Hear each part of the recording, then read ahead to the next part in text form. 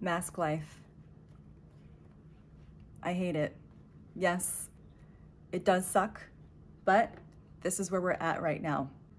So today I just wanted to quickly come on here and talk about what we can do to make sure that we keep our skin looking good and healthy because wearing these masks for a long period of time um, is making my skin like break out.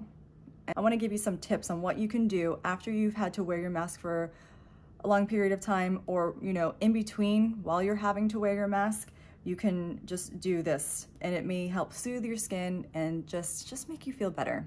So I have to wear my mask to teach classes. So dance classes, pole dance classes.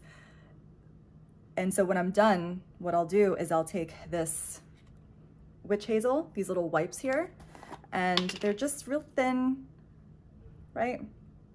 Um, they are the T.N. Dickinson's Witch Hazel Cleansing Pads.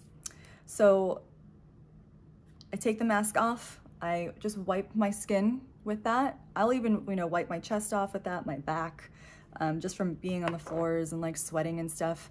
You wanna just get all that off of you pretty quickly. So wipe your skin. And I know this may seem a little extreme, but it fits in your purse or your fanny pack.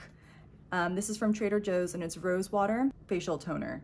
It's hydrate and refresh. So once you have taken your mask off, washed, you know, wiped your face off with those witch hazel wipes, then you can go in with this spray, spray it all over your face, and boom, and boom, your skin is feeling fresh and you've got all that, you know, icky stuff off of your skin.